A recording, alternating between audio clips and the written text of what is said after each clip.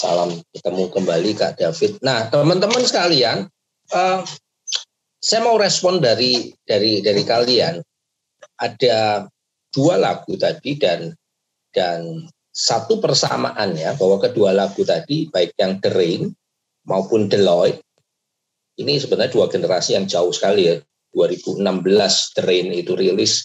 Kalau Deloitte ini itu lagu tadi rilisan tahun 1972 Mungkin nanya ke papa mama kalian juga belum tentu tahu. Kalau opa oma mungkin tahu. Persamaannya dua-duanya bercerita tentang derita, penderitaan, sesuatu yang nggak nggak nggak mengenakkan gitu ya. Uh, meskipun di derin diceritakan lebih spesifik deritanya orang patah hati ditinggal pergi gitu ya tanpa alasan dan segala macamnya tapi tapi uh, yang Deloitte kan kita nggak tahu sampai akhir ini ceritanya sebenarnya apa sih konteksnya. Nah, tapi pertanyaan gini, terlepas dari semua persamaan yang saya sampaikan, bedanya apa? Lagu pertama sama lagu yang kedua. Selain soal tahun rilisnya ya, 2016 1972. Silakan, ada yang mau merespon.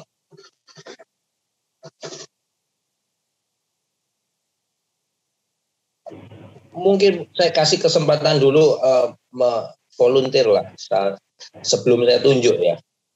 Siapa pun. Kalian melihat ada perbedaan yang paling mencolok nggak? Yang mencolok dari itu dua lagu itu. Kartika Afri Kita Betsheba Yosua Kristiana Daniela David Rustan oh David Rustan ini pendeta. Davin Edgar Fabian Irene Ivan Joel Ayo siapa? Oke, memang harus ditunjuk kayaknya. Ya, saya mau menunjuk uh,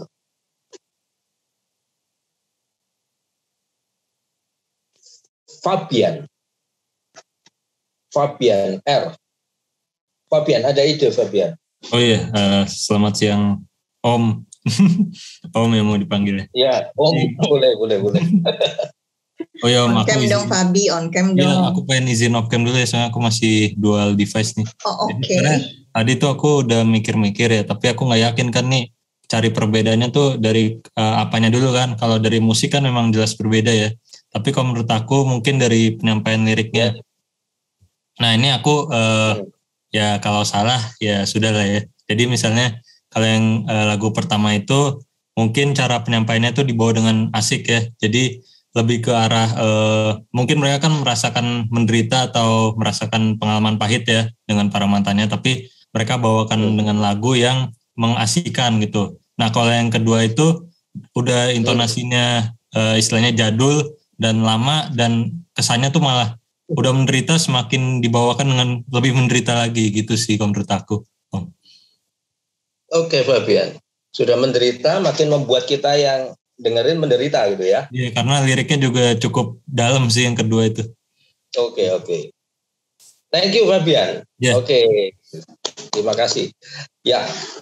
Ah, sekarang saya saya saya uh, cari pendapat uh, pelengkap lagi ya. Uh, silakan Sam. Ada ide Sam? Um, menurut aku untuk lagu pertama itu kayak kan patah hati itu kan hal yang menyedihkan tapi di lagu ini tuh dibuat jadi kayak bahagia dan kayak semangat gitu kayak mereka melihat patah hati itu dari uh, perspektif yang positif tapi kayak kalau untuk lagu kedua itu lebih ke arah kayak mellow terus hmm, hmm. kayak udah mau menyerah gitu hmm. mungkin melihat patah hati okay. itu dari perspektif negatif negatif gitu. Oke, okay. thank you Samantha. Ya, udah ya satu cowok satu cewek Fabian sama Samantha. Nah, uh, saya minta tolong Kak Siska untuk membantu saya di slide ketiga. Saya akan mulai uh, di PPT saya slide ketiga aja langsung ya. Uh, saya membedakan dua video musik tadi itu yang pertama sebagai saya sebutkan uh, the rain response, yang kedua itu saya sebut sebagai Deloitte, Deloitte response sesuai dengan penamaan dua grup band ini. Oke, bentar ya Pak. Oke, uh, langsung di slide ketiga ya. Jadi ya. Deloitte response dan the rain response. Saya, saya menyebutnya begitu. Nah, uh, coba kita petakan uh, bersama-sama. Uh, dan jawaban Fabian dan Samantha tadi sebenarnya uh, cukup menggambarkan apa yang yang menjadi kesan saya ketika misalnya saya saya, saya ditanya tentang uh, tentang hal yang sama ini. Ya. Ya.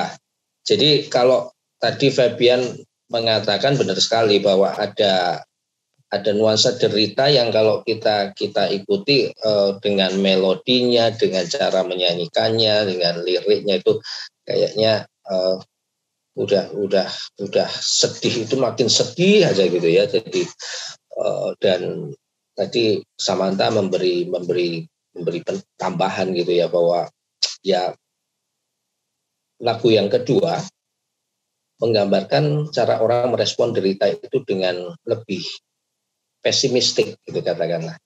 Haruskah hidupku begini dengan tiada yang uh, derita yang tiada akhir? Tuhan berikan petunjuk. Katakanlah salahku dosaku ini apa? Karena masih banyak orang uh, manusia itu yang percaya bahwa uh, kesusahan penderitaan itu punya hubungan atau keterkaitan korelasi yang erat dengan perilaku saya begitu ya. Saya dosa maka saya menderita. Kalau saya nggak dosa, gitu ya saya saya hidup baik-baik, maka saya nggak menderita. Nah, padahal nggak nggak sesederhana itu juga memahami kehidupan. Aku nggak sanggup lagi menerima derita ini, gitu ya. Jadi jadi segala yang yang nampak uh, ini cara-cara memandang uh, suffering penderitaan itu yang ya kayak begini gitu ya, sangat sangat pesimistik. Ya. Nah, Bandingkan dengan The. Next slide. Ya. Lagunya aja sudah sudah uh, menggambarkan derita sebenarnya. Patah hati itu kan sesuatu sebuah suffering tapi tapi mereka membahasakannya dengan fun bahwa kami ini adalah orang-orang yang punya banyak mantan gitu.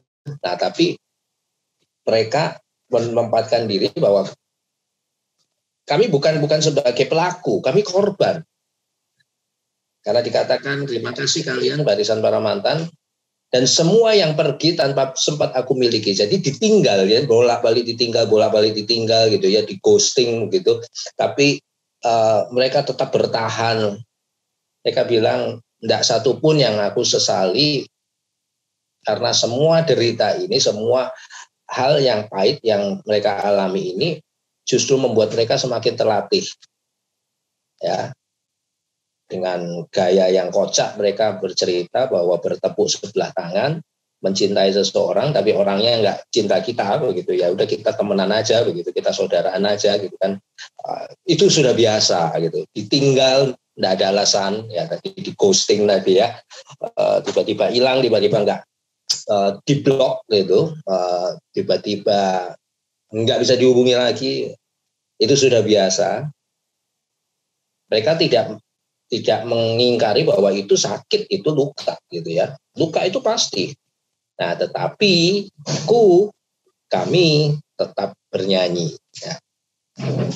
nah ini titik pembedanya jadi Fabian sama Samantha benar ya 100% benar tentang melihat bagaimana pembeda perbedaan di antara kedua lagu ini. Sama-sama bicara tentang suffering, bicara tentang derita, tetapi yang satu digambarkan derita itu lebih apa ya? lebih pesimistik gitu ya, yang satu lebih lebih fun, lebih optimistik gitu. Nah, saya mau share kalau bicara tentang suffering, mungkin salah satu uh, tokoh Alkitab khususnya di Perjanjian Lama yang paling hidupnya kalau orang Surabaya bilang paling soro gitu ya, paling susah gitu, paling paling periode hidupnya itu pahit gitu. Uh, orang ini. Orang ini namanya Ayub.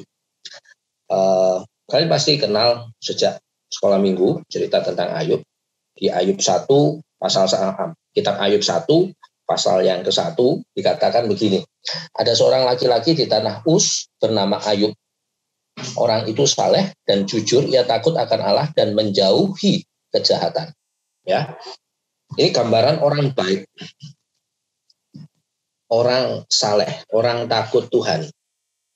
Dan seperti pemahaman umumnya kita kan, tadi Deloitte kan ketika dia merasakan suffering itu dia tanya Tuhan aku salah apa? gitu kan. Kok kok kok begini hidupku? Nah karena ada pemahaman umum orang bahwa kalau hidupmu menderita itu pasti kamu banyak dosa gitu ya. Maka ya bertanya dosaku ini apa? Kalau kamu hidup di jalan Tuhan kamu hidup benar maka Tuhan akan melimpahimu dengan segala kesenangan kesukacitaan nah eh, meskipun sekali lagi saya saya bilang tadi kan konsepnya nggak begitu nggak nggak begitu juga gitu ya. Ada ada ada ada ada ada kompleksitas uh, kondisi yang yang tidak serta merta kemudian bisa difahami begitu. Tapi pada awalnya si Ayub itu begitu jadi orang baik dan kemudian di tadi orang yang takut akan Allah dan kemudian di ayat yang ketiga, Ayub 1 ayat 3 dikatakan dia orang yang terkaya dari semua orang di sebelah timur. Perhatikan. Baik, lurus jalannya, saleh, kaya raya. Ya. The real sultan pada eranya lengkap sudah ya. Mau-mau apa lagi? Ya dia punya tujuh anak laki-laki tiga anak perempuan tujuh ribu ekor kambing domba tiga ribu ekor unta lima ratus pasang lembu lima ratus keledai betina dan budak-budak dalam jumlah yang sangat besar. Dan ini real ya. Real bukan flexing. Bukan sesuatu yang digambarkan seolah-olah uh, saya punya ini punya itu tapi kemudian eh, ternyata enggak. Ini kondisi awal seorang Ayub. Nah, uh, kita tahu ceritanya bagaimana dalam dalam uh, kitab Ayub pasal yang pertama juga. Kemudian ada diceritakan uh, apa? Eh, pasal dua ya, ada iblis uh, ibaratnya ada obrolan sama Tuhan Tuhan. Intinya begini, ah, iblis meragukan bahwa Ayub ini bisa tetap setia kalau dia kalau segala kebahagiaan itu diambil dari dia. Ya. Jadi dibilang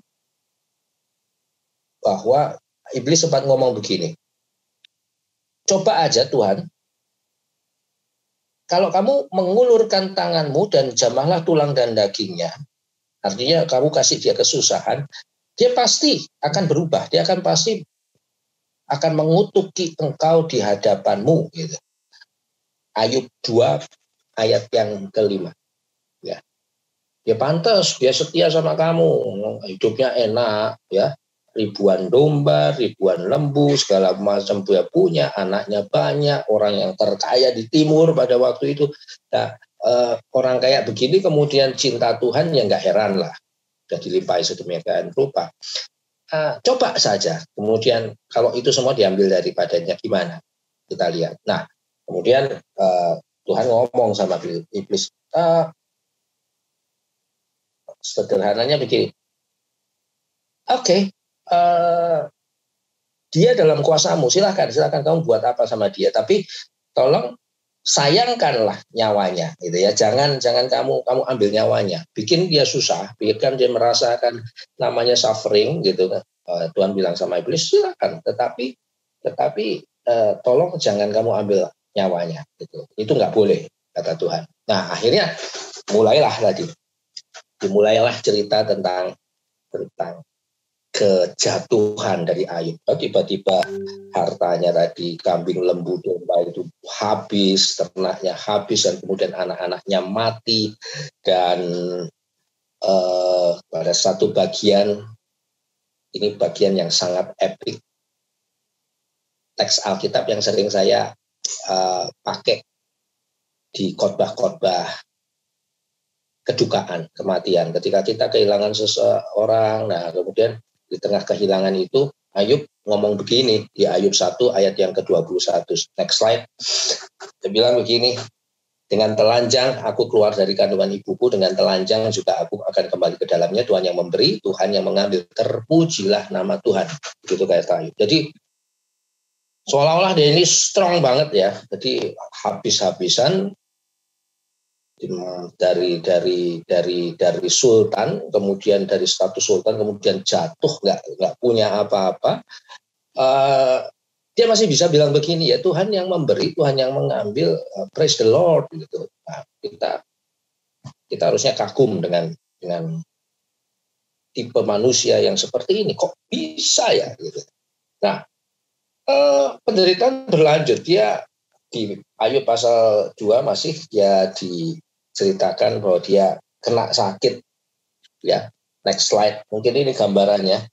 Jadi dia sakit eh, diceritakan Alkitab semacam sakit kulit begitu barah yang busuk dari telapak kakinya sampai ke batok kepalanya. Lalu Ayub mengambil sekeping beling untuk menggaruk-garuk badannya sambil duduk di tengah-tengah abu kata ya ini udah lengkap lah. Duit habis anak habis ya. Anak mati ya dalam sekejap. Ada bencana begitu. Badan sakit. Ya wajar kalau kemudian misalnya lagunya Deloitte tadi sudah ada pada Pak Ayub ya dia akan berteriak aku tak sanggup lagi menerima semua ini begitu ya. Apa salah dan dosaku gitu. Nah uh, cerita berlanjut dan dan uh, ada satu part menarik di Ayub 2 ayat 9 teman-teman. Uh, next slide. Uh, istrinya pun kemudian mulai goyang gitu. Dia bilang pada Ayub kamu itu masih mau bertekunkah kamu dengan uh, kesalehanmu? Uh, kutukilah Allahmu dan matilah gitu ya. Dia mulai kehilangan imannya pada pada Allah. Kok kok begini Tuhan yang kamu sembah itu? Sudahlah, sudah. Nggak ada guna beriman pada Tuhan yang kau sembah itu ya. Nah, ini kehadiran pendamping istri yang seharusnya ya di saat-saat suami susah itu menjadi penopang, penolong, ini malah jadi perongrong. Ya. Jadi nanti kalian kalau someday berkeluarga, punya suami, punya istri, nah, cari yang tepat, ya. Tanya sama Tuhan, suami yang tepat, istri yang tepat buat saya, yang bisa apa? Yang bisa nemenin saya kalau senang-senang waktu saya happy maupun ketika saya susah, saya jatuh, saya nggak ditinggal. Saya nggak nggak kayak istrinya Ayub ini, kutukilah alamu dan kamu matilah. Waduh, kok sebegininya istri suaminya udah jatuh begini kok bukan kalimat penguatan yang muncul gitu ya. Nah uh, ini terus berlanjut dan dan uh, Ayub tetap merespon dengan positif uh, di ayat yang ke-10 next slide. Dia menjawab sama istrinya kamu ini bicara seperti orang gila perempuan gila. Apa ya kita cuma mau menerima yang bagus-bagus yang baik-baik yang enak-enak dari Allah tetapi tidak mau menerima yang buruk ini dialog antar suami istri ya, dialog rumah tangga yang cukup cukup intens gitu. Ya, apa apa kita cuma mau terima yang bagus tapi nggak mau yang terima yang buruk? Dan kemudian kita waktu aku sakit kayak gini kita lagi jatuh begini kemudian saya meninggalkan Tuhan. Enggak lah gitu. Itu kira-kira yang disampaikan Ayub kepada istrinya. Nah sampai pada titik ini kita melihat Ayub itu luar biasa teman-teman. Ya. Ayub itu uh, melihat suffering penderitaan itu dengan dengan dengan gagah dengan dengan berani dengan dengan apa ya tetap kokoh begitu ya imannya nggak goyang. Tapi kita mesti tahu juga bahwa tidak se-strong itu juga Ayub. Ayub tetap manusia yang bisa bisa apa ya bisa bisa goyang juga Salah satu titik paling goyangnya Ayub ketika di ayat 3 sampai 7, Ayub pasal 3, dia bilang seperti yang ada di slide ini. biarlah hilang lenyap hari kelahiranku dan malam yang mengatakan seorang laki-laki telah ada dalam kandungan. Dia menyesal. Menyesal apa? Menyesal ngapain saya harus lahir. Kalau saya harus menjalani suffering yang berat seperti sekarang. Ya. Biarlah malam itu tidak ada yang melahirkan. Dia bilang gitu ya. Di saya tebelin aja uh, stabilo kuning di bagian-bagian yang menurut saya penting ya. Biarlah hilang lenyap hari kelahiranku malam yang mengatakan seorang anak anak laki-laki telah ada dalam kandungan. Dia ngapain? Sekali lagi ngapain saya harus uh, ibu saya harus mengandung saya dan melahirkan saya kalau kemudian hidup saya harus kayak begini. Ya, ini ini inilah Ayub. Bagian ini sering kali terlewat dari pengamatan kita karena kita tadi hanya melihat ucapan-ucapan Ayub yang tegar, yang kuat itu di pasal 1, pasal 2. Nah, ini letaknya di tengah-tengah. Oh, kita sekarang tahu. Oh, Ayub juga uh, nggak se, se, se, se super itu juga ya Om ya, ya Pak ya. Ternyata dia dia sempat mengalami yang seperti ini. Gitu. Nah, uh, ya satu satu endingnya memang happy akhirnya ya happy uh, Ayub pada akhirnya tetap bisa mempertahankan imannya meskipun dia susah sekali gitu ya dan kemudian uh, kita bisa lihat di akhir cerita Tuhan kemudian mengembalikan semuanya yang sudah hilang dari dia dikatakan dua kali lipat gitu. Nah, ada sebuah film yang saya suka banget ya menceritakan uh, sosok Joker gitu ya. Mungkin karena orang sudah bosen gitu cerita superhero, Batman, Superman, uh, Wonder Woman dan segala macamnya. Nah, mulai uh, DC Comic mengawali untuk bercerita tentang sosok-sosok villain, sosok-sosok musuh, uh, mulai dari ya yang paling menarik cerita tentang tentang tentang Joker. Kenapa? Kenapa menarik? Karena di film Joker ini rilis tahun berapa ya berapa tahun lalu saya lupa uh, diceritakan tentang asal muasal kenapa Joker bisa menjadi Joker. Kenapa seorang Arthur Fleck bisa punya alter ego yang akhirnya dinamai Joker tadi ya joke dari joke gitu ya joke itu guyonan candaan gitu ya. Karena dia uh, sehari harinya kan menjadi apa ya stand up komedian gitu ya dia dia merepresentasikan dirinya sebagai badut penghibur yang ngejok gitu joker nah kenapa dia bisa bisa sedemikian bertransformasi dari seorang Arthur Fleck menjadi uh, joker yang jahat begitu ya nah nanti nonton filmnya lagi coba atau uh, summary dari cerita di film itu pasti di uh, bisa dicari di Google. Tapi yang saya ingat dari film ini bahwa Arthur Fleck sejak kecil tidak punya kisah referensi kisah bahagia. Seringkali dia dibully karena fisiknya, karena kelemahannya, uh, dianggap sebagai orang gagal begitu ya. Dan itu yang membuat dia uh, pada akhirnya bertransformasi menjadi joker, jadi orang jahat. Di sinilah kemudian mulai dari film ini muncul, dunia mulai gandrung membicarakan tentang yang namanya mental health, kesehatan mental. Ada sebuah quotes yang disampaikan oleh Joker sendiri di film itu yang bilang bahwa the worst part about having a mental illness is people expect you to behave is if you don't. Slide berikut ya, ada quote-nya. Dia punya itu juga, ya, secara fisik yang tidak menarik, dia tidak menonjol, dia punya mental illness dan uh, dalam sharing dirinya hal yang paling berat untuk menjadi seorang yang punya mental illness adalah dunia dunia pingin kamu kamu tampil baik-baik saja. Seolah-olah sama seperti kami-kami ini loh, yang sehat-sehat. Jangan ditunjuk-tunjukkan. Setiap orang nanya apa kabarmu, how are you today? Jawablah, I'm good. Bahkan kalau bisa, banyak gereja mengajarkan, kalau ditanya apa kabar, kamu mesti jawab apa? Luar biasa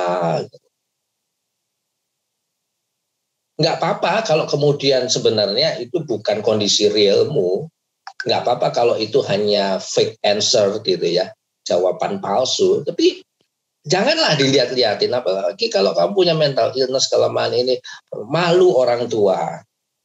Kalau kelihatan anaknya aneh di depan banyak orang gitu ya.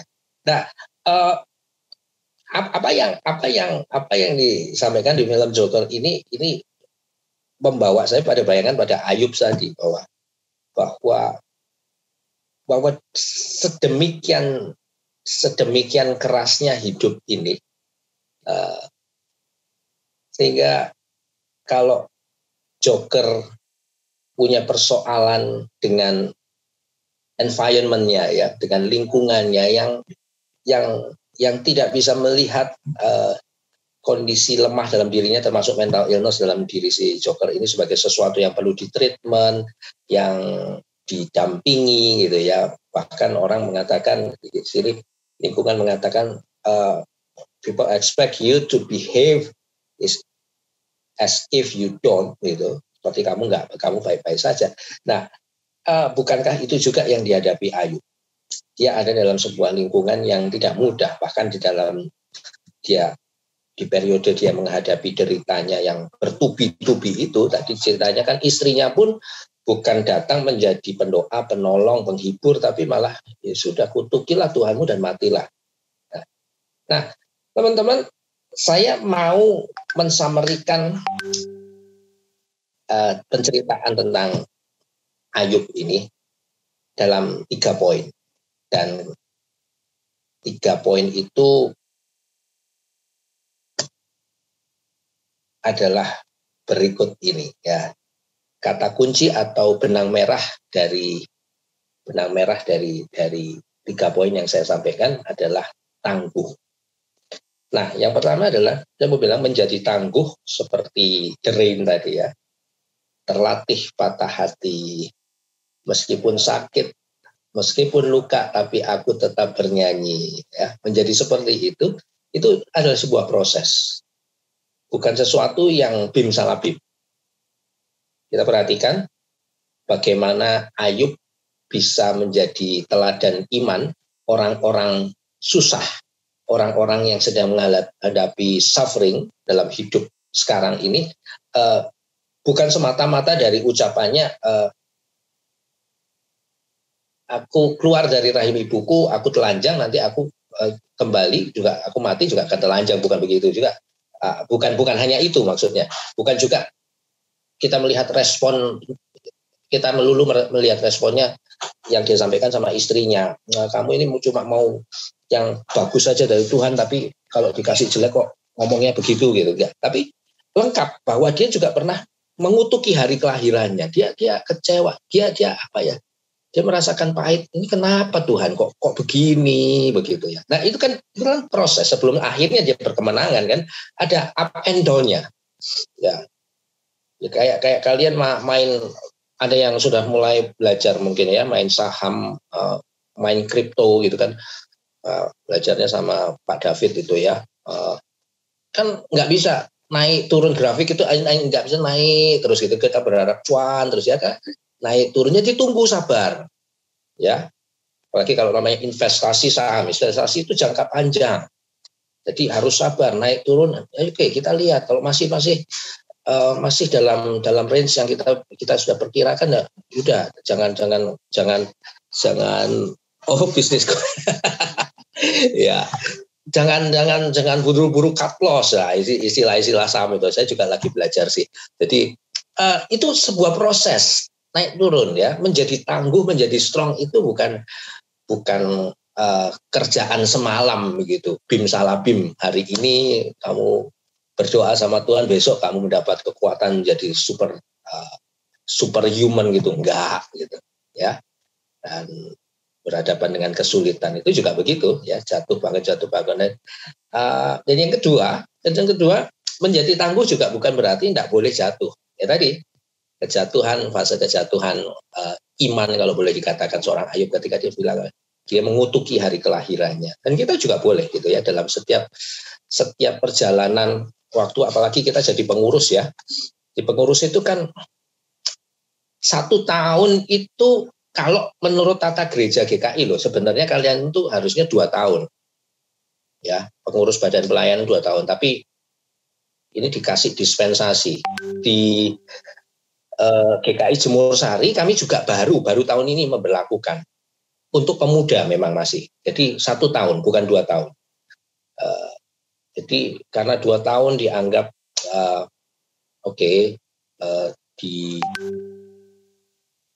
DKI Jemusari di tempat saya melayani itu 80% pemudanya simpatisan. Jadi turnover keluar masuk keluar masuk anak itu eh, habis lulus kuliah kemudian pulang kampung pergi ke tempat lain itu tinggi sekali. Jadi kalau jangka waktu kepengurusan itu lama gitu ya dan dua tahun kami rasa cukup lama itu akan ada yang anu ya yang yang lepas-lepas di perjalanan begitu. Nah, saya juga mengatakan satu tahun pun bisa dibilang waktu yang pendek atau waktu yang panjang itu relatif. Itu relatif. Bisa jadi kalian di awal-awal ini semangat sekali gitu ya. Wah, Tuhan terima kasih. Tuhan eh, mau pakai saya, saya jadi pengurus nih, saya punya punya talenta yang Tuhan mau gunakan gitu. Nah, tapi masuk bulan keempat gitu ya, udah mulai kendor, udah mulai bosen. Apalagi kalian kan dibentuk sebagai sebuah tim. Nah, namanya kumpulan manusia dengan beberapa karakter, banyak karakter, banyak pemikiran, banyak ide. Kadang-kala kan nggak nggak melulu ide kita yang kemudian diterima. Wah, ketika nggak diterima ide kita, usul lagi nggak diterima, akhirnya kita jatuh gitu. Ah, sudahlah gitu. Komitmennya memang satu tahun, tapi di bulan ke-6 kita sudah entah di mana. Ya, entah di mana. Di kontak juga susah, di WA ya centang dua sih, tapi biru sih, tapi nggak ada respon gitu ya. Kita mulai jatuh. Kita harapannya sih nggak nggak harapannya kejatuhan ini kemudian tapi kita kita nanti grafiknya naik lagi dan kemudian kita selesaikan satu tahun komitmen satu tahun itu dengan dengan dengan apa ya dengan utuh begitu ya teman-teman ya. Nah, tapi uh, intinya enggak enggak bisa juga enggak enggak enggak uh, sebuah kejatuhan sebuah grafik turun itu dalam sebuah periode kepengurusan pelayanan itu sesuatu yang wajar Ayub juga mengalami. Ya, lagi menjadi tangguh bukan berarti kamu tidak boleh jatuh.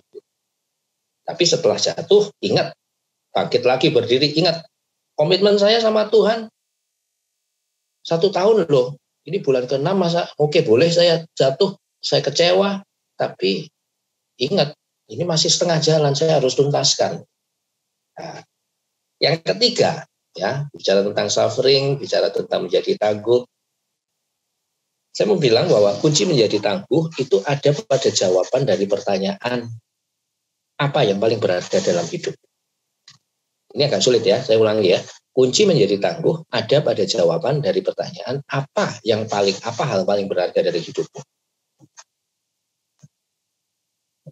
Kalau hal yang paling berharga dalam diri Ayub adalah kambing, domba, lembu, ratusan yang kalau di total itu ribuan, kekayaan dia maksudnya. Nah, ketika itu diambil semua itu enggak. Gila. Gila itu minimal. Ya. Kena mental ya, kena mental ya, kena mental kemudian sakit mental ya itu eh, sakit jiwa ya gila gitu. Itu efek minimal. Tapi yang paling pahit kan ketika kemudian orang memutuskan untuk mengatakan ya sudah saya mati aja. hidup susah begini, semua kekayaan sudah habis begitu. Kalau yang paling berharga dalam hidupmu adalah harta. Ya. Kalau hal yang paling berharga dalam hidupmu adalah pencapaian prestasi, nilai, ya di sekolah, ya. Uh, pencapaian olimpiade ini, olimpiade itu, nah. Uh, ada satu teman dari anak saya itu dia perfeksionis sekali, selalu terobsesi pada angka sempurna 100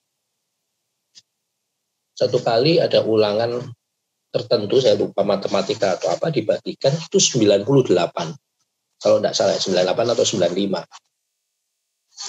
Nah kalau bercermin dari masa lalu Om Arya waktu sekolah dulu, yang ya udah 80 puji Tuhan 70 terima kasih Tuhan gitu ya 90 wow Tuhan itu baik begitu ya berapapun nilai kita syukuri nah uh, kita kita agak agak amazed juga melihat wih sembilan dapat pulang sekolah dapat sembilan delapan itu sangat sangat kecewa. Sangat penuh amarah begitu ya. Dia merasa dirinya ah harusnya nggak begini. Nah itu kalau contoh kalau yang paling berharga dalam hidupmu adalah pencapaian-pencapaian akademis gitu. nah apa? Maka ketika itu diambil daripadamu kamu akan goyang kamu akan jatuh. Jatuh yang bukan pak yang sulit untuk bangkit lagi ya maksud saya. Nah, tapi bisakah kalau kita mengatakan bahwa apa yang paling berharga dalam hidupmu itu ada nggak yang dalam hati ketika saya membahas poin yang ketiga ini menjawab dalam hati dalam pikirannya? Apa ya? Dan kemudian kita menemukan satu jawaban. Tuhan Yesus kali ya apa yang paling berharga dalam hidupmu? Tuhan Yesus. Kenapa kok Tuhan Yesus? Karena kita baru kemarin Jumat Agung Paskah, Tuhan Yesus mati dan bangkit buat kita. Dan itu semua membawa sebuah gagasan baru tentang keselamatan. Keselamatan itu apa? Keselamatan itu sebuah kepastian. Kita tidak lagi takut hidup di dunia ini, tapi kita juga tidak khawatir nanti gimana setelah mati. Ada kekekalan, ada keselamatan. Banyak rumah Bapak apa banyak tempat di rumah Bapak di sorga gitu ya, menurut versi Injil Yohanes. Kalau yang paling berharga dalam hidupmu adalah Tuhan Yesus, maka ketika semua yang ada padamu diambil dan kamu menderita, harusnya kamu tetap strong, kamu punya punya pegangan. Karena satu-satunya yang tidak pernah bisa lepas dari hidupmu, ya Tuhan kita Yesus Kristus dong. Bahkan orang-orang terdekat aja seperti istrinya Ayub tadi bisa kayak begitu kan. Bisa mengecewakan kita kan. Kamu pernah punya papa mama yang kemudian kamu nggak punya hubungan yang bagus. Mereka suka kasar sama anak-anaknya, nggak kasih perhatian gitu. Ya orang-orang terdekat pun bisa bisa kalau kita letakkan mereka sebagai sebagai yang paling berharga satu kali bisa mengecewakan.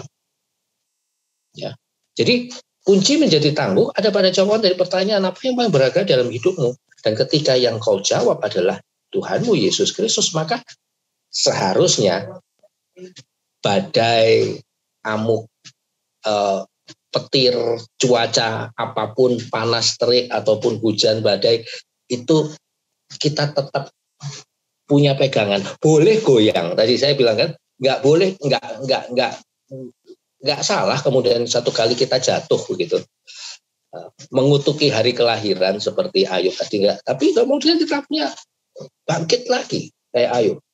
Yaitu hanya satu fase jatuh yang kemudian rebound lagi ke atas. Karena kita pegangan kita jelas pegangan kita bukan harta, bukan hanya prestasi uh, akademis, bukan uh, orang-orang terdekat, bahkan pun orang tua. Yang paling berharga kita Tuhan. Nah, itu tiga kunci menjadi orang-orang tangguh berhadapan dengan suffering, teman-teman. Nah, kenapa saya saya saya bicara dari awal tentang penderitaan, tentang suffering karena karena saya mau bilang bahwa menjadi pengurus organisasi kayak komisi remaja atau komisi pemuda ini ini bagian dari kita melatih diri kita untuk menghayati bagaimana dalam tanda kutip penderitaan itu dalam versi yang mungkin masih sederhana ya. Kenapa? Kenapa kok kok bisa bilang gitu? Nanti tadi saya akan akan ceritakan ya, saya ceritakan. Tapi tema kita pada sesi ini kan ini. Next slide. Memupuk kesetiaan dan tanggung jawab sebagai alat Tuhan. Ya. Memupuk kesetiaan dan tanggung jawab sebagai alat Tuhan. Saya mau masuk dulu dari tadi. Saya mau jelaskan kenapa menjadi pengurus sebuah organisasi remaja, pemuda di gereja seperti GKI bisa jadi menjadi sebuah latihan rohani yang baik kita dalam menghadapi yang namanya suffering. Belajar menjadi tangguh. Karena begini, uh, eh, GKI dibangun dalam sebuah budaya bergereja yang khas. Kepemimpinannya kolektif bareng-bareng yang disebut om tante majelis jemaat itu ada penatua, ada pendeta barengan ya, pendeta Gordon, pendeta David sama penatua-penatua yang lain gitu ya, tante penatua Ika, tante penatua Yudi, eh, om penatua Yudi begitu. Itu bareng-bareng mendiskusikan segala sesuatu bareng. Nah, uh, ya kan ada kalanya. Kalian juga nanti akan bekerja secara kolektif kan dalam tim komisi remaja, tim pengurus komisi pemuda. Nah, seperti saya bilang tadi di awal, tidak selamanya ketika kita bekerja dengan banyak orang, ide kita itu sejalan dengan teman-teman di kiri kanan kita. Ada kalanya kita merasa tertolak karena ide kita ada yang memberi lebih, ide lebih baik dari yang kita dari ide kita dan lainnya bersepakat dengan. Ada kalanya juga kita sudah sepakat nih, komisi remaja, komisi pemuda sepakat pada sebuah ide kami mau bikin ini. Nah, udah kompak banget nih. Eh, yang nggak sepakat kemudian siapa? Ketika kita ngomong sama tante penatua, om pendeta, majelis jemaat nggak setuju, misalnya begitu. Waduh, mentok lagi nih, nabrak tembok lagi gitu akhirnya bukankah hal-hal yang begini ini bikin, bisa bikin cepat bikin males ya? Ah sudahlah. Kita segera lupa pada komitmen awal kita yang satu tahun tadi di bulan ke-6 udah drop banget gitu. Nah, padahal kita pada tema ini diajari untuk setia, memupuk kesetiaan, Ayub tadi susah banget hidupnya teman-teman. Susah banget. Up and down iman dia, yes.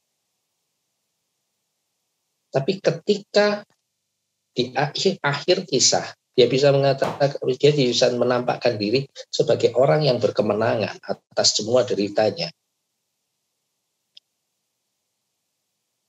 Maka sampai hari ini salah satu contoh terbaik manusia biasa yang dimampukan Allah untuk mengalahkan segala kondisi yang gak enak itu dan tetap punya iman yang kuat pada Tuhan, itu ya Ayub. Dia setia. Ya. Jadi kalau misalnya nanti dalam satu tahun ini apa yang Om Ariel bilang ini kejadian benar gitu ya, Pinginnya sih enggak ya. Kemudian wah semua kompak, komisi remaja kompak, kemudian punya ide sesuatu, wah majelis bilang apa pun kalian mau bikin, majelis pasti akan dukung. Gitu ya. Wah, enak banget kalau begitu. Uh, tapi kalaupun apa yang Om Ariel tadi bilang sekali dua kali waktu terjadi perbedaan benturan jangan sampai Pak halo Kemarin pesan, coba kembali ingat pada bagaimana perjalanan Ayub up and down-nya dia menghadapi susahnya dia. Kalau dia bisa setia, harusnya kita bisa bisa bisa bisa setia juga. Karena kita sama-sama kok. Ayub bukan bukan superhuman, dia manusia Dia manusia, kita juga manusia. Teman-teman Derin yang tadi mengatakan kami adalah orang-orang yang terlatih patah hati itu juga manusia gitu. Bertepuk sebelah tangan ditinggal tanpa alasan. Mereka menyanyikannya dengan ketawa-ketawa gitu. Mereka tidak kemudian memurkai kehidupan gitu dan kemudian ah, sangat ah, ya. Kemudian ya berakhir dengan tidak setia. Tema kita hari ini mengajak kita untuk setia dan kata kedua atau frasa kedua yang menarik untuk tanggung jawab. Tanggung jawab itu apa sih? Ya, saya saya coba menjelaskan di slide berikut. Pengertian sederhana tanggung jawab itu sikap atau perilaku untuk melakukan sesuatu dengan sungguh-sungguh dan siap menanggung segala risiko dan perbuatan. Tanggung jawab. Ya. Ada kaitannya dengan kesetiaannya, kesetiaannya tadi ada, ada, ada korelasinya tanggung jawab itu juga sama. Ketika saya sudah berani mengiyakan, yes, di depan Tuhan dan jemaat, saya nggak tahu model pelantikannya apakah online atau onsite kemarin ya, atau mungkin belum pelantikan ya nanti. Tapi kita kan percaya bahwa kita ngomong yes itu bukan cuma yes di mulut atau yes tante, om, atau Kak Siska gitu. Ya Kak Siska, aku mau melayani menjadi pengurus. Tapi kan uh, sudah pelantikan Pak, oke, okay, thank you Kak Ika. Tapi perhatikan bahwa kita itu ngomong sama Tuhan yang pertama-tama. Tuhan, aku mau. Ibarat ya, Tuhan mau. Uh, ibarat kalau saya kalau saya dramakan begitu ya, Joshua, Kristiana, Daniela, uh, Davin mau ya melayani aku satu tahun ya jadi pengurus pemuda remaja Oke siap Tuhan. Satu tahun ya benar ya. Oke siap. Kalau sudah ngomong ya di awal ya satu tahun ya ya benar satu tahun harusnya itu tanggung jawab ya toh itu bertanggung jawab tidak menjadi anak-anak muda yang mudah melakukan apa ya tindakan kalau saya bilang eskapis, escape. Ya. Escape. Jadi saya hari ini lagi lagi lagi mencari gitu ya, eh, menginvestigasi satu anak uh, lebih jauh lebih tua dari kalian yang yang studi uh, kuliah uh, disupport oleh gereja, tapi kemudian kuliahnya tidak selesai, uh, tapi kemudian dia juga hari ini tidak tahu di mana. Persoalan sekolah atau kuliah itu nggak selesai karena satu dan lain hal, mungkin karena di tempat dia kuliah sana dia sambil kerja dan ternyata pada akhirnya merasa wah lebih enak kerja ya buat apa kuliah ya? Bisa dapat duit ini. Meskipun saya dengan dengan ijazah SMA begitu. Ah itu itu persoalan lain. Tetapi bahwa kemudian oke okay, kamu dibiayai loh oleh gereja kuliahmu. Paling dong datang ke gereja ke majelis ke pendeta ke penatua om tante sorry saya nggak bisa selesaikan kuliah saya. Saya salah bla bla bla bla bla mohon maaf. Itu tanggung jawab. Ya. Itu tanggung jawab.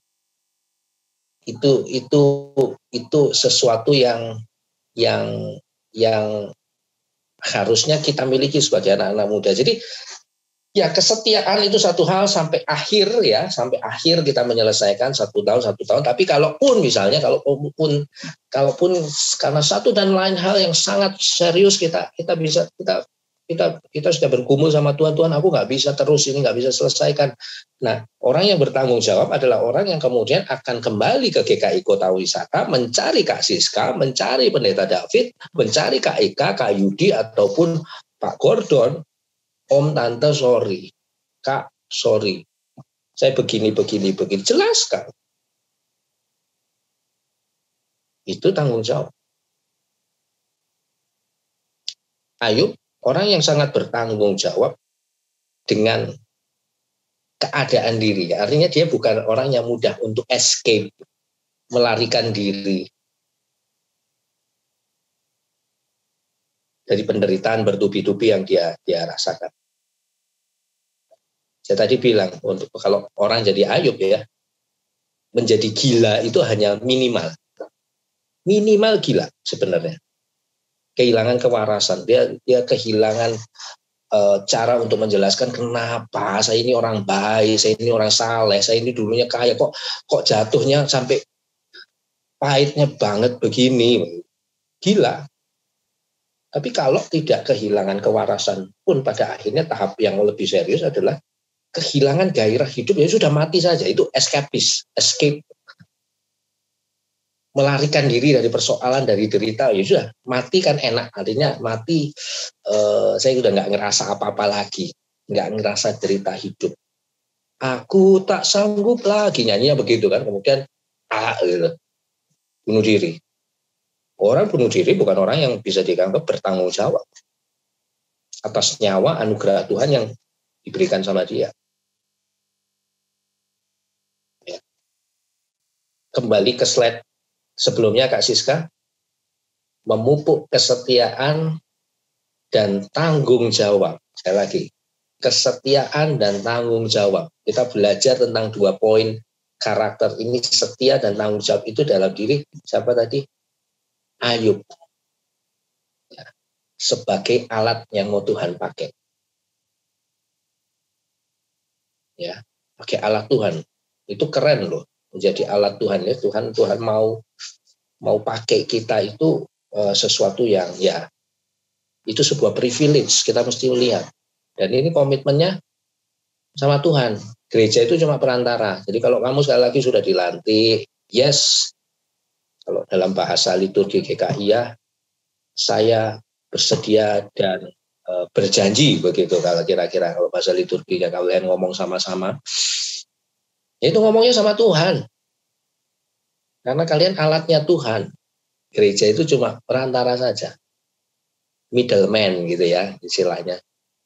Urusannya sama Tuhan. Nah, semoga uh, satu tahun mendatang bisa menjadi satu tahun yang cukup berwarna buat kalian. Kalian belajar untuk setia, kalian belajar untuk bertanggung jawab pada pilihan-pilihan kalian sebagai pribadi maupun sebagai kesatuan komisi ya. Uh, saya tidak menjanjikan bahwa semua akan baik-baik saja. Gitu. Saya tidak menjanjikan bahwa kalian akan happy terus tanpa merasakan yang namanya suffering. Ya, tapi kalaupun suffering itu terjadi dalam segala bentuknya, ya, seperti saya gambarkan tadi, ingatlah Ayub. Bagaimana dia, dia tetap setia dan bertanggung jawab, meskipun susahnya luar biasa. Dan ingatlah Green, jangan ingat Deloitte, ya nggak usah menye-menye. Terlalu melo uh, kebanyakan drama gitu. Kalau kemudian aduh program nggak disetujui nih sama majelis. Ah, sudahlah kita ya. Karena karena sekarang kan apa-apa cepet aja butuh healing butuh healing butuh healing gitu. Padahal uh, uh, derita program ditolak sama majelis kan belum masih jauh belum sepahit cerita Ayub yang kehilangan semuanya gitu. Ya tapi kita terlalu mudah me, me, mendramatisasi ya segala sesuatu gitu ya. Kemudian aku butuh healing gitu ya. Nggak nggak begitu juga gitu ya. Ya. Tetap setia tetap bertanggung jawab. Satu tahun komitmen ya selesaikan uh, saya percaya meskipun tidak mudah, tapi ini latihan privilege yang Tuhan berikan privilege kita untuk yang Tuhan berikan untuk kita berlatih. Nanti kalau kamu sudah ada di dunia kerja, kamu berkarir, jadi apa pun itu. Dua hal ini juga hal yang paling dituntutkan atasmu. Orang kerja apa pun, loyalitas, kesetiaan, dan juga tanggung jawab. Ya, itu penting. Belajar dari gereja, belajar dari kepercayaan yang Tuhan beri untuk mulai dari hal yang sederhana di lingkup yang uh, sempit ini ya, komisi remaja, komisi pemuda. Selamat uh, melayani, selamat untuk terus setia dan menunjukkan tanggung jawab sebagai anak-anak muda, alatnya Tuhan. Tuhan memberkati kita semua. Amin. Thank you Fabian. Memang uh, konsep teologi yang kamu kamu sharekan tadi bahwa bahwa tidak tidak melulu tidak serta merta lihat orang sakit orang susah begitu ya hidupnya ber, uh, ada beban begitu. Kemudian uh, kita uh, bisa kaitkan serta merta dengan lu ada dosa apa begitu ya. Nah itu itu ya kalau kita gereja di GKI gitu pasti kita tidak tidak me, melihatnya dengan cara demikian ya saya mau cerita uh, saya SMA dulu kelas 1 uh, kurasa aku SMA kelas 1 kalian belum lahir ya. Satu SMA itu tahun 96. 96. Uh, uh, saya punya teman, satu teman, namanya sampai sekarang saya masih ingat. Pak David sudah lah, Pak, sudah lahir 96. Uh, namanya Evi Salim. Bahkan nama family name short name-nya saya masih ingat ya Salim. Ya.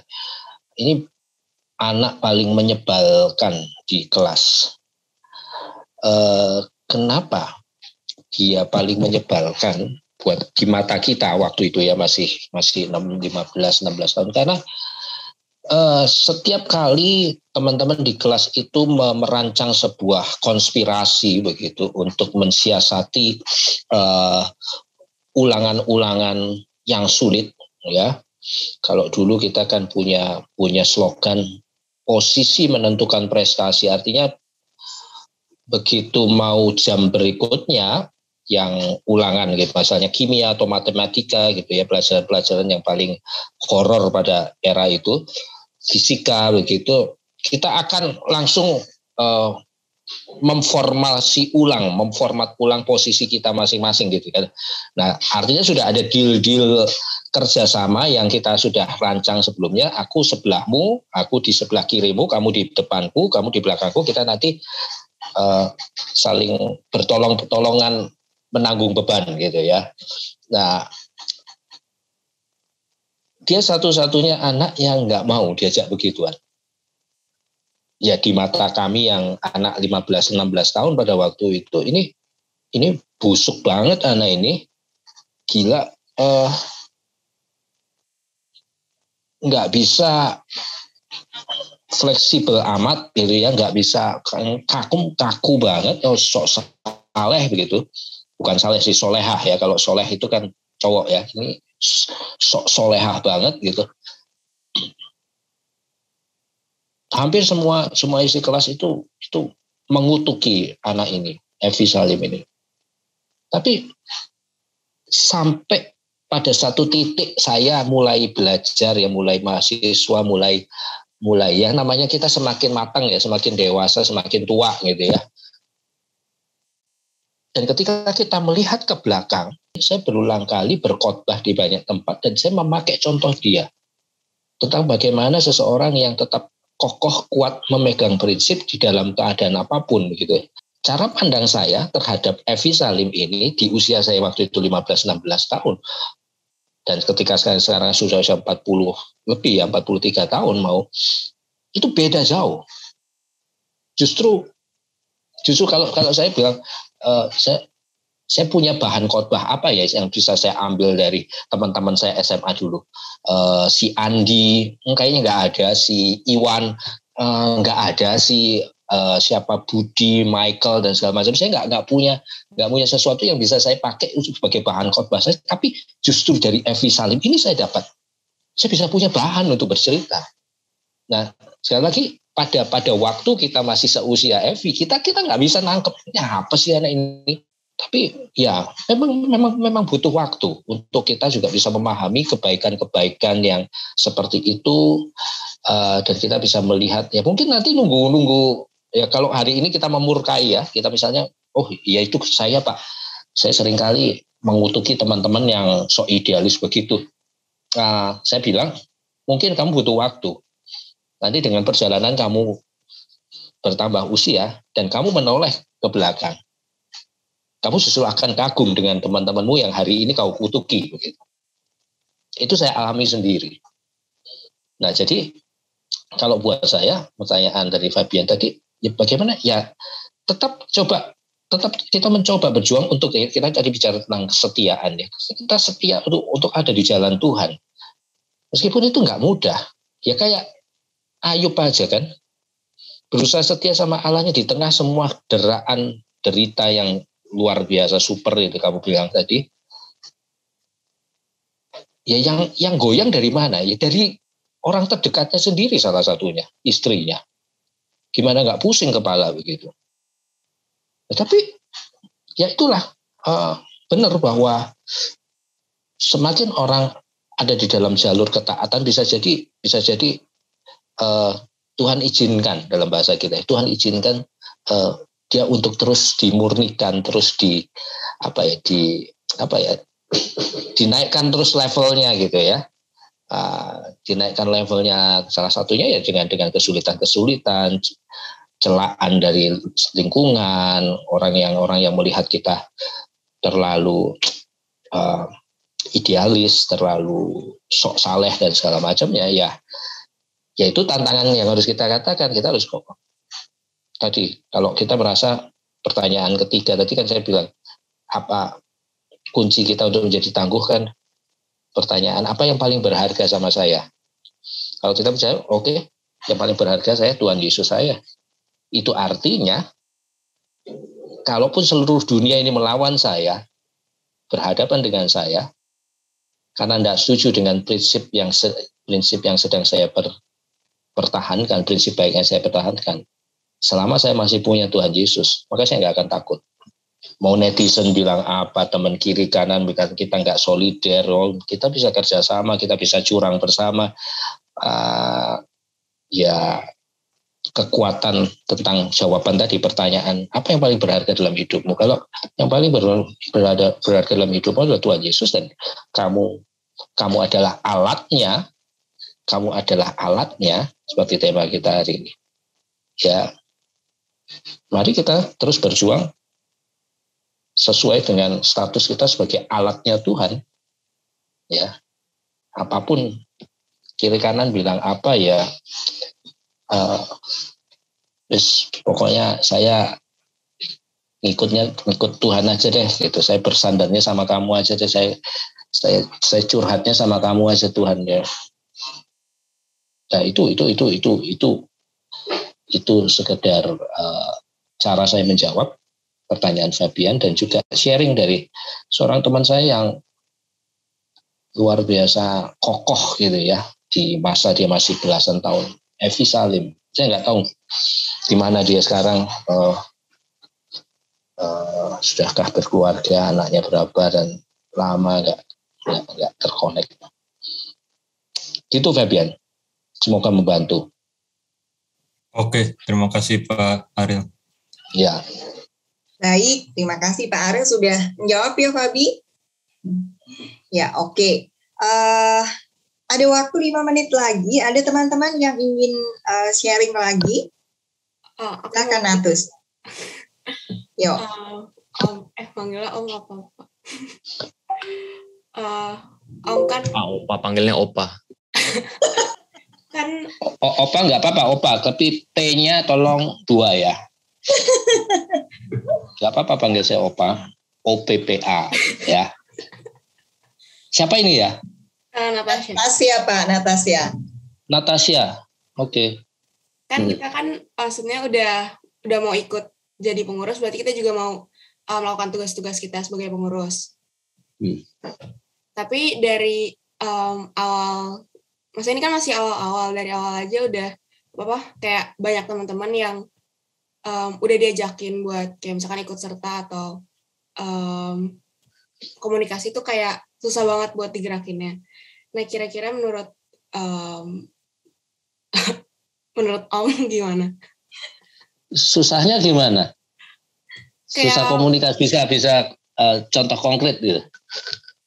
Biar aku bisa. Um, mi- kayak misalkan kayak contohnya sekarang gitu um, waktu itu kan udah dibilangin kayak kita bakal ada motivation camp um, diminta buat semuanya hadir tapi kayak um, malah sibuk sama apa sendiri-sendiri gitu terus kayak nggak ada kabar juga kenapa Hmm.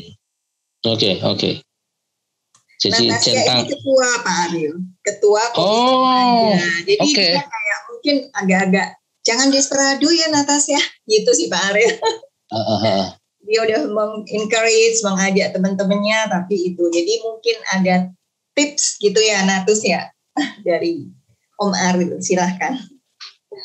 Natasha, eh, dari semua personil pengurus Komisi Pemuda atau Komisi Remaja yang akan bertugas satu tahun mendatang, kalau bisa dilihat dari perspektif suffering, eh, biasanya ketua yang paling menderita, gitu ya. Ya, jadi jadi kuatlah dan bertahanlah. Aku cuma mau bilang begitu. Eh, semoga cawan ini segera lalu daripadamu ya. Eh, ya nanti banyak-banyak didoakan ya Kak Siska ya ini Natasha eh, kamu mau maunya juga sih jadi ketua kan cari cari persoalan apakah hidupmu kurang masih kurang persoalan nah Ah, Ini dimintain tips kok malah. Malah memprovokasi nih. nah, jadi berpikir ulang dia nah, nah. Iya ya Nat gini Nat jadi gini eh saya mau mulai dari mana ya? Ada, ada banyak perspektif eh, yang yang bisa dipakai untuk menjawab pertanyaanmu. Tapi yang paling paling kekinian itu kamu pernah pernah eh, pernah tahu nggak hari-hari ini lagi lagi banyak orang gandrung untuk belajar tentang satu aliran filsafat stoa. Stoik.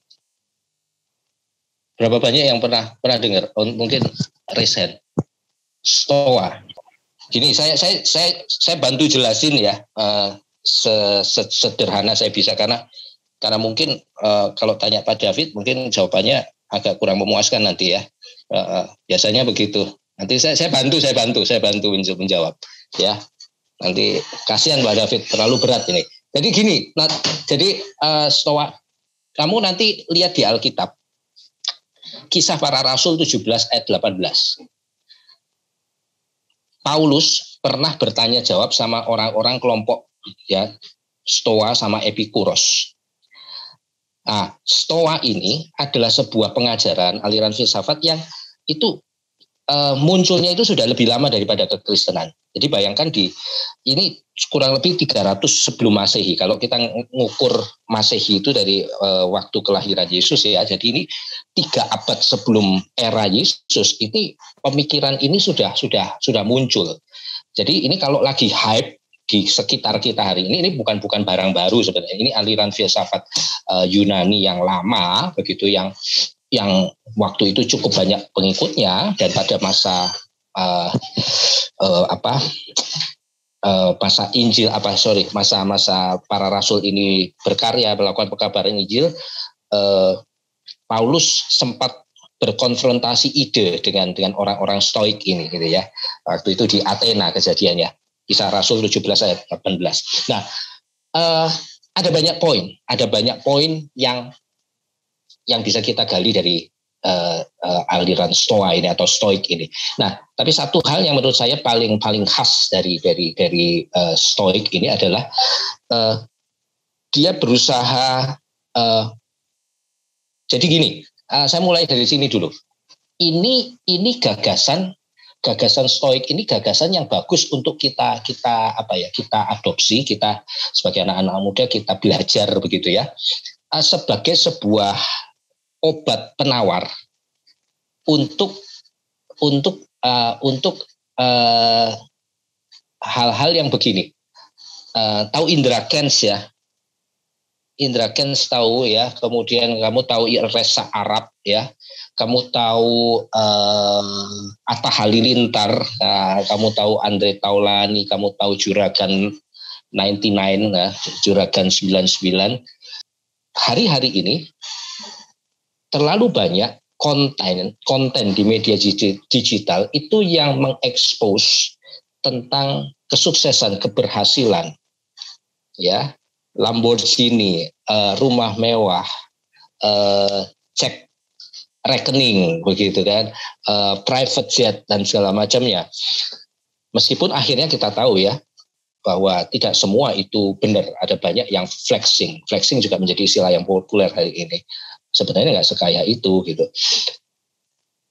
Tapi kalau kita sebagai anak-anak muda tontonan kita sehari-hari itu itu itu itu mulu, maka kita akan uh, positifnya kita bisa terpacu. Oke, aku pingin punya seperti mereka, maka aku aku harus kerja keras dong gitu. Itu bagusnya. Tapi yang kedua, uh, kita akan yang jeleknya kita akan terjebak pada sebuah konsep begini bahwa tadi pertanyaan apa yang paling berharga dalam dirimu? Ya, pertanyaan poin tiga tadi di slide yang saya siapkan, kamu anak-anak muda akan mudah menjawab bahwa oke okay, uh, materi hal-hal materi.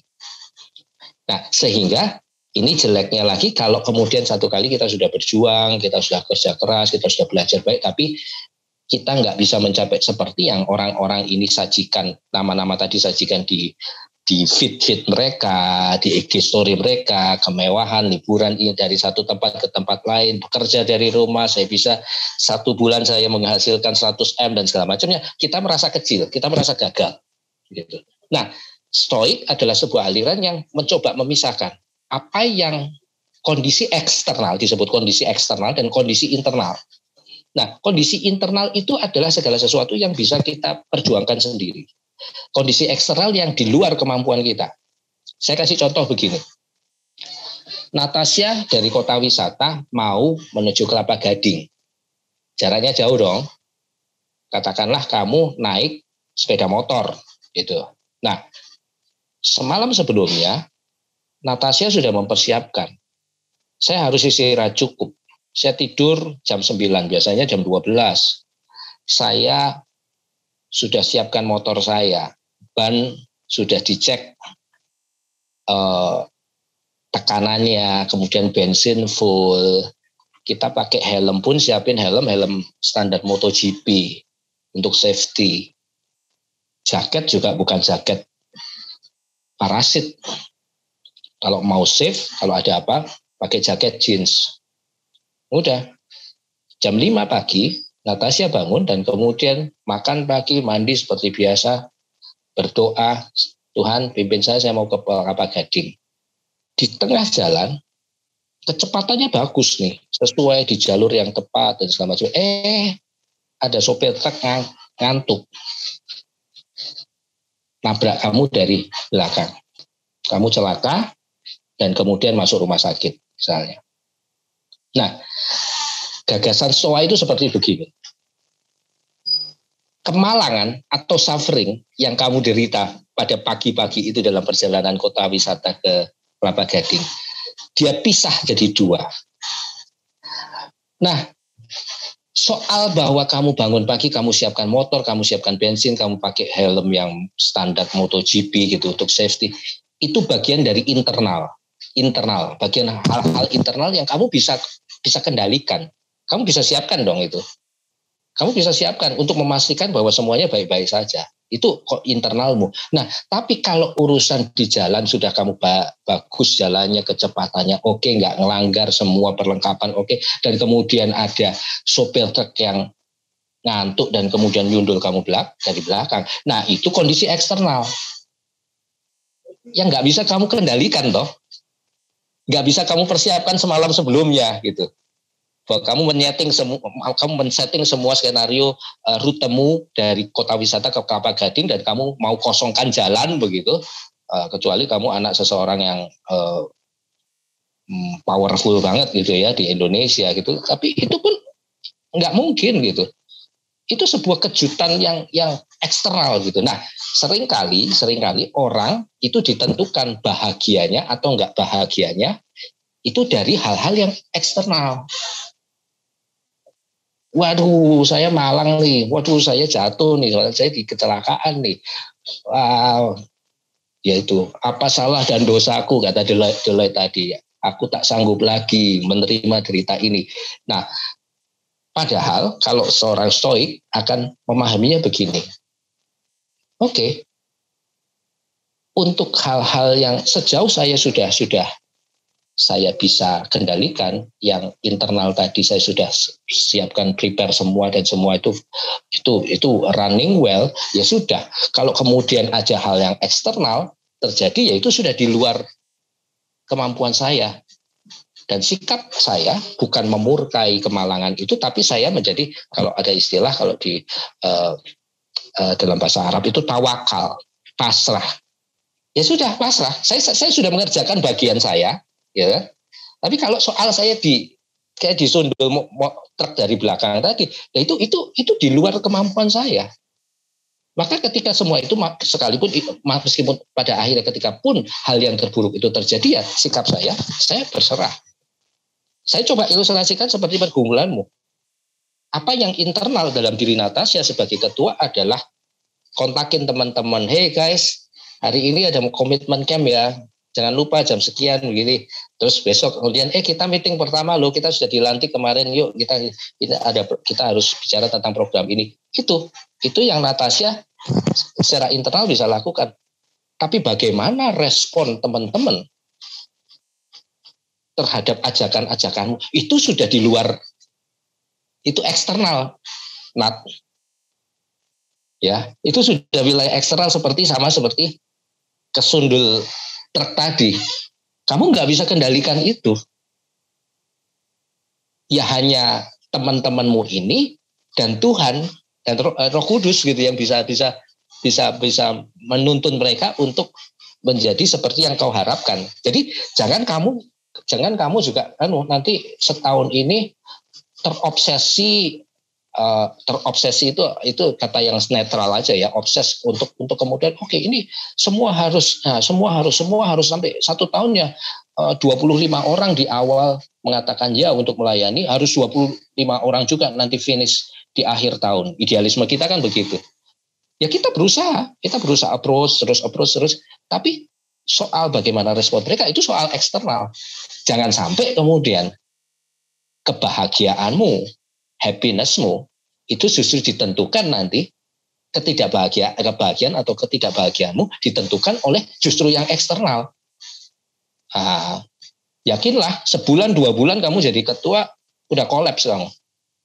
Kibarkan bendera putih gitu. Udah angkat tangan Om David, ampun Om David gitu kan. Ya. Tante Ika ampun gitu. nah gitu. Nah itu itu itu bagusnya bagusnya uh, yang lagi. Jadi uh, uh, bersikap tawakal bukan bukan ya karena karena karena pembicara motivasi di mana pun termasuk nama-nama orang-orang yang kaya atau sok kaya gitu orang-orang muda seusia kalian yang sudah bisa ini sudah bisa itu kan mengajarinya gini kamu pasti bisa aku aja bisa satu tahun aku umur 23 tahun, satu tahun aku berpenghasilan 100 juta gitu. Eh, kamu juga pasti bisa motivasi motivasi seperti itu. Nah, ketika kita larut dalam ide-ide seperti itu dan kita ternyata nggak bisa mencapai itu, kita stres. Goblok banget ya saya. Dia bisa apa aku nggak? Padahal enggak. Jadi stoik mengajarkan kerja keras, belajar keras segala macam itu untuk mencapai sukses untuk bisa beli ini dan itu untuk dapat pekerjaan baik oh itu upaya saya. Tapi kemudian apakah kemudian nanti buahnya adalah kesuksesan material gitu kemudian uh, cuan yang berkelimpahan gitu promosi jabatan yang terus terus naik naik naik. Lah itu sudah eksternal. Kalau dunia, dunia kerja sebagai profesional misalnya promosi seorang pekerja untuk bisa naik tingkat terus itu kan tidak tidak hanya ditentukan oleh hanya variabel prestasinya kan ya juga ada hal-hal politik kantor lah gitu ya kepentingan-kepentingan kantor yang membuat seseorang ini bisa naik seseorang tunggu dulu dan segala macam itu sudah eksternal gitu. ya. jangan sekali lagi uh, jangan hal-hal eksternal itu yang kemudian akan mempengaruhi semangat kamu sebagai ketua, mempengaruhi antusiasmemu, mempengaruhi happinessmu, mempengaruhi cara kamu mengukur keberhasilanmu nanti setelah setahun sebagai ketua. Ya, ya udah kita kita upayakan, kita ajak, kita rangkul teman-teman. Ayo ingetin ya.